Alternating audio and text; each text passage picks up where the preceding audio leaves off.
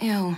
Gotta get rid of this old Backstreet Boys t shirt. Tell me why. Because it stinks, boys. Tell me why. I've washed it so many times, but the odor won't come out. Tell me why. No, you tell me why I can't get rid of this odor. Have you tried Downy Rinse and Refresh? It doesn't just cover up odors, it helps remove them. Wow, it worked, guys. Yeah. Downy Rinse and Refresh removes more odor in one wash than the leading value detergent in three washes. Find it wherever you buy laundry products. Olá, aqui Ruben Martins, nos seus ouvidos, o poder público. Neste episódio, não conto uma história, conto oito. Oito portugueses falam sobre o país, um estado da nação em várias áreas. Jovens, imigrantes, reformados, ativistas. Damos espaço a um país com gente dentro.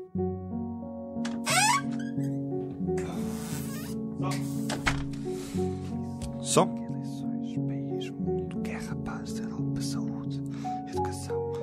No meio de tanta conversa, trazemos as histórias. Poder público. As páginas de um jornal. A sessão legislativa tem no debate do Estado da Nação dos seus últimos agendamentos do ano parlamentar. Mas vamos ouvir o país fora das portas de São Bento. Sim, Estou sim, José Ruben Martins. Começamos por Beja. José Filipe Morteira é professor do ensino secundário. neste momento nós, eh, desde há muitos anos esta parte, nós temos de facto qualidade de vida em várias áreas. Eh, Um dos grandes problemas que existe neste momento é precisamente o das acessibilidades. Nós temos, basicamente, e por isso é que pensamos que estamos abandonados, não é?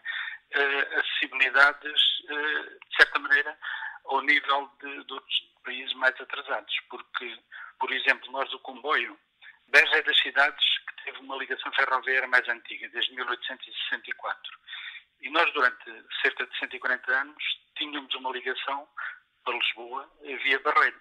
Portanto, fazíamos um transbordo para o barco e depois eh, do Barreiro para Lisboa íamos de barco. Depois, em 2004, eh, começámos a fazer uma ligação, podemos dizer assim, moderna, através da ponte 25 de Abril. Saíamos de Beja, passadas duas horas e pouco estávamos lá. Os comboios eram rápidos, embora a diesel, eram comboios confortáveis, eram intercidades e estávamos lá. Só que em 2010 essa ligação foi interrompida por causa da modernização de uma outra linha e a partir de 2011 andámos para trás. De- Deixou de haver o transbordo no Barreiro, passou a haver um transbordo em Casa Branca. E então, de Beja a Casa Branca, passamos a ir em automotores sem climatização, com avarias, com atrasos, muitas vezes substituídas por autocarros. O, o transporte ferroviário aqui em Beja bateu no fundo. E nós estamos a 50 km da autoestrada para transportar doentes, portanto, para Lisboa, para transportar mercadorias, etc., inclusivamente para ligar o aeroporto. E, neste momento, fizeram-se 12 quilómetros de ligação da autoestrada, eh, portanto, eh, para, eh, para Beja. Estão parados há uns meses, portanto, ainda não abriram esses 12 quilómetros, e significa, por questões técnicas, segundo se diz, que nós vamos ficar a pouco mais de 30 quilómetros da autoestrada. Ora, esses 30 quilómetros penso eu, não é? Provavelmente custam o mesmo que um quilómetro do túnel do Marão. Por isso é que eu e muitas pessoas em Beja dizemos que nós, neste aspecto, estamos abandonados. Vamos aos dados. Em 2011, moravam no distrito de Beja 152 mil pessoas, menos de 7% da população do distrito de Lisboa. Mudamos de história. Inês Félix é desempregada, com um curso na área da comunicação, decidiu ainda assim continuar a estudar enquanto procurava emprego. O meu talento e todos os outros estagiários e não dão a oportunidade de ficarmos mais tempo, nem que seja para um estágio profissional. Muitas vezes é um estágio de três meses e as coisas ficam por ali quando eu tenho mais coisas para dar, claro. Nós temos acesso a estágios curriculares muito facilmente, mas depois não conseguimos ficar. Há outras áreas que nem sequer eh, conseguem um estágio curricular. Depende muito mas, das oportunidades que cada um consegue, não é? Mas eu acho que é uma coisa de todas as áreas.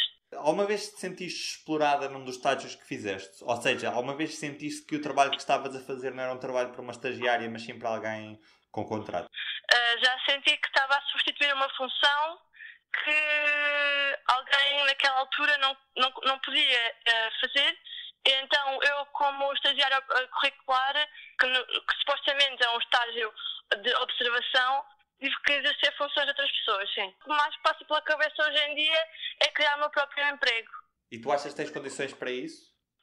Assim, acho que não há muitos apoios para, para a criação do próprio emprego, mas uma pessoa tem de lutar por algum lado e se eu tenho um sonho, tenho que lutar por ele. Dados da OCDE mostram que em Portugal o desemprego jovem, dos 15 aos 24 anos, neste mês de maio, se situou nos 20,8%. A decisão de eu vir uh, trabalhar para fora surgiu muito antes de eu acabar sequer uh, a minha licenciatura em Audiovisual Multimédia na Escola Superior de Comunicação Social. Felizmente eu acabei o curso já com uma garantia de um trabalho bom, estável, com um contrato que é muitas vezes raro encontrar em Portugal e com boas condições em que eu podia basicamente viajar o mundo e ser paga para o fazer, claro, com, com um trabalho árduo pelo meio. Uh, sinceramente, eu acho que mesmo que eu tivesse outra oportunidade tão boa ou menos boa, mas uma oportunidade de trabalho que me deixasse ficar em Lisboa, a trabalhar em Portugal, eu aceitaria na mesma ir trabalhar para o estrangeiro. Porque acho que foi a melhor coisa que me aconteceu foi sair fresquinha de uma licenciatura e trabalhar para um país completamente diferente, com uh, pessoas diferentes, com opiniões, culturas, religiões, opiniões completamente opostas muitas vezes da nossa e, e do nosso cantinho, da nossa casa. No entanto, depois desta experiência toda e de saber que está difícil o mercado de, de trabalho português com base na opinião de amigos meus, familiares, de colegas de turma.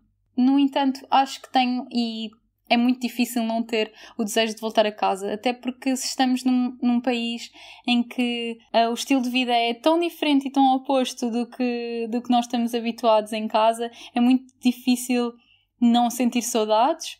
A escolha foi minha de sair e será minha de voltar de novo, de sair de um nível económico bom em que eu estou bem, que eu me sinto confortável com o meu emprego e com o meu salário, para se calhar uma situação não tão boa, mas eu estarei em casa, eu estarei perto daqueles que amo e isso acho que o dinheiro não é tudo, não é de todo, ajuda, mas estar ao pé das pessoas que nós gostamos e que amamos e estar em casa uh, vale por muito. Dados do Observatório da Imigração mostram que em 2015, quando Ana Oliveira saiu do país, 22% dos portugueses viviam no estrangeiro. Mudamos agulhas. Pedro Adrião é cofundador da startup Mesh Porto, que quer fazer com que os clientes de um restaurante não tenham de esperar pelos funcionários para fazerem pedidos. Normalmente, quando se está a começar uma startup ou se tem uma ideia, a partida para, para, para esse sonho e para concretizar essa ideia é feita com capitais próprios até se conseguir entrar na mira de, de, alguma empresa de capital de risco, não é? De alguma forma de, de investimento.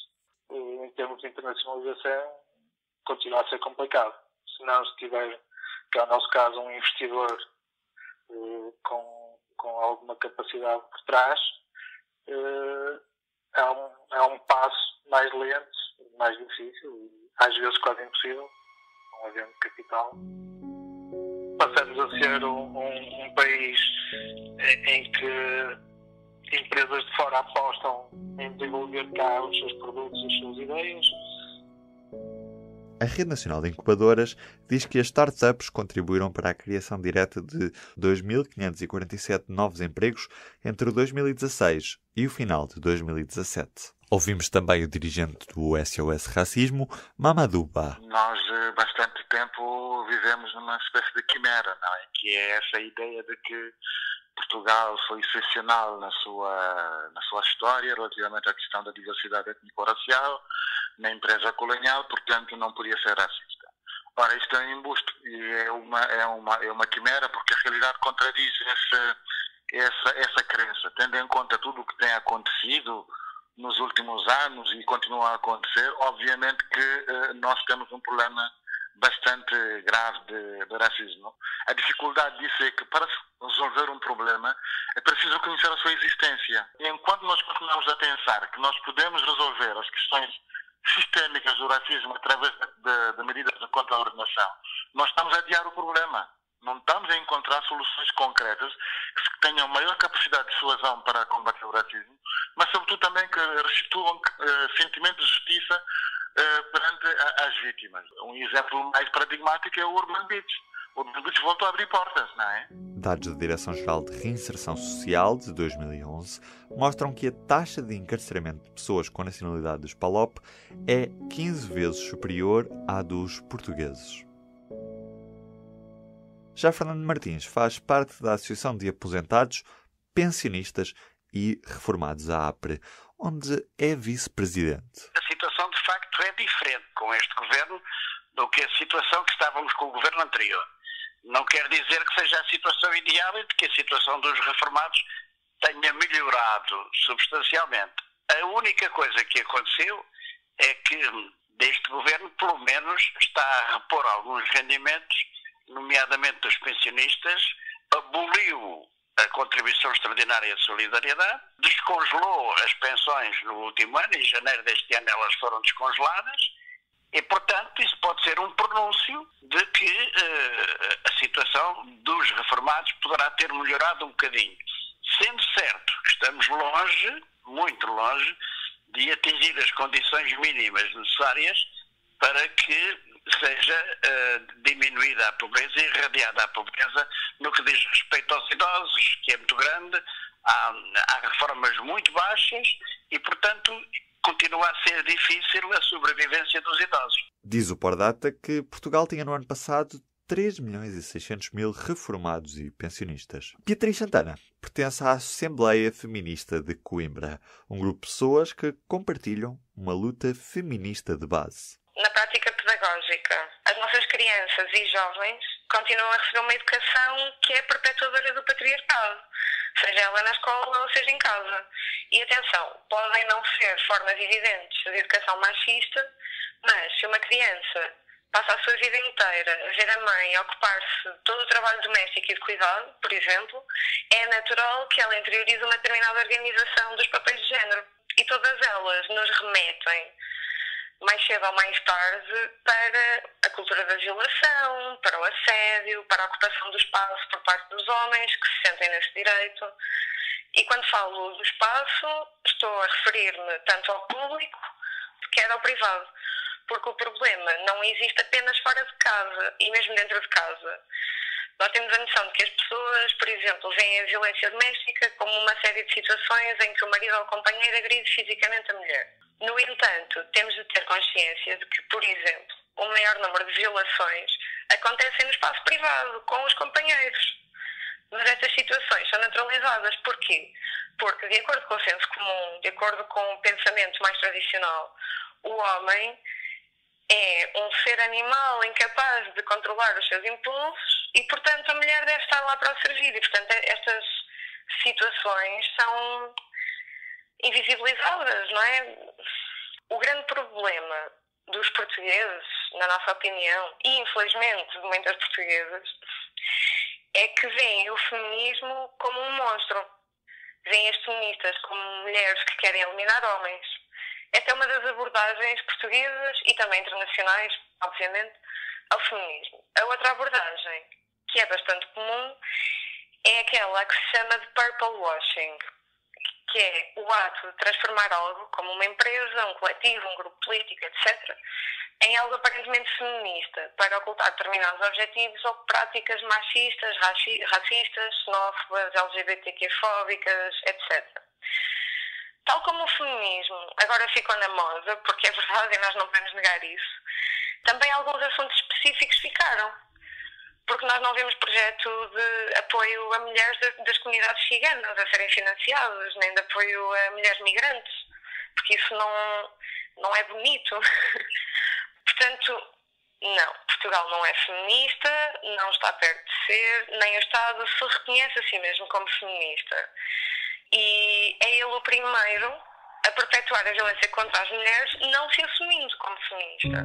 Dados do Eurostat mostram que os homens ganham mais de 7,5% do que as mulheres em Portugal. E ainda temos para ouvir Fernando Teixeira, ele que tem 23 anos e é advogado estagiário. O estágio, em primeiro lugar, não é pago e além de não ser pago, não existe qualquer outro, outro tipo de proteção. Por exemplo, se eu ficar doente e ficar impossibilitado durante um mês de fazer o estágio, não há, não há qualquer tipo de, de proteção para, para, para esse acontecimento. E depois, em relação às, remunerações na, nesta carreira, também não é, não é muito risonho. Também acompanha um bocado aquilo que é o panorama geral do, do emprego jovem, que é um emprego muito mal pago, os vínculos são precários e uh, o futuro é sempre muito complicado de, de antever, não é? Porque existe um grau de instabilidade no mercado de trabalho muito, muito grande. E, portanto, acho que neste país, o jovem da minha idade, independentemente da área, qualificado ou não, tem sérias dificuldades em perceber o que é que vai ser ou aquilo que vai ser a sua vida daqui, daqui a uns anos. Dados citados pelo DN em 2016 diziam que então apenas um em cada dez estagiários era remunerado no período de estágio. E ficamos por aqui neste episódio. Não se esqueça de classificar o Poder Público na loja do iTunes, subscrever numa das várias plataformas de podcast e enviar feedback para ruben.martins.público.pt. Poder Público, histórias da política, da sociedade e do mundo. Até o próximo programa. O que faz um bom azeite? Sabe como escolher? Venha descobrir e explorar este produto tão importante da nossa gastronomia na Escola do Gosto. Dia 25 de novembro no Porto, venha provar e aprender com Ana Carrilho, Edgardo Pacheco e o chefe André Cabrita. Os lugares são limitados. Inscreva-se já em público.pt.